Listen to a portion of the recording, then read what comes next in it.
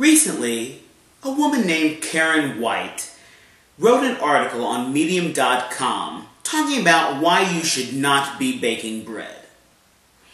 She, she pleaded with you all to not bake bread. She didn't want you to bake bread because she bakes bread.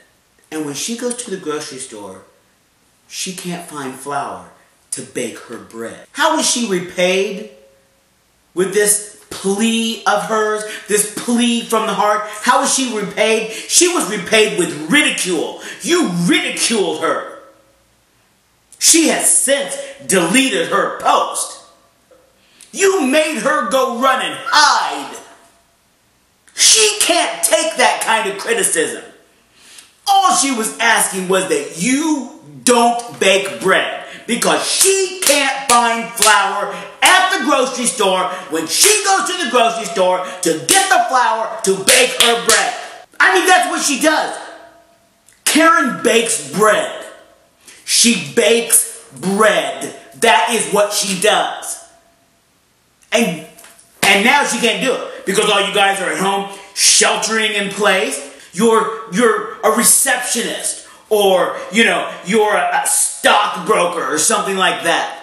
You don't bake bread, but now all of a sudden you're at home baking bread and Caren can't get flour because of you and you make fun of her because of that? How is that funny?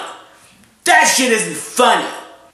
I mean, you, you know, yeah, yeah, so you, you think that you are a baker because you have time to spend in the kitchen and you mix up your dough, you put the yeast in it and it rises and then you put it in the oven and you make bread and then you eat it. Don't do that! You are fucking carrying shit up.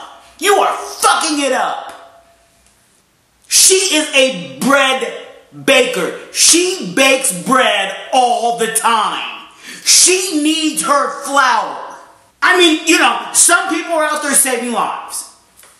Some people, you know, are out there fighting crime. Caren bakes bread. She bakes bread. That's what she does. And she can't do it because you're taking all the flour. When you go back to your job being a project manager or a marketer, guess where Caren will be? She'll be in the kitchen baking bread. Stop baking bread. Because Caren said so.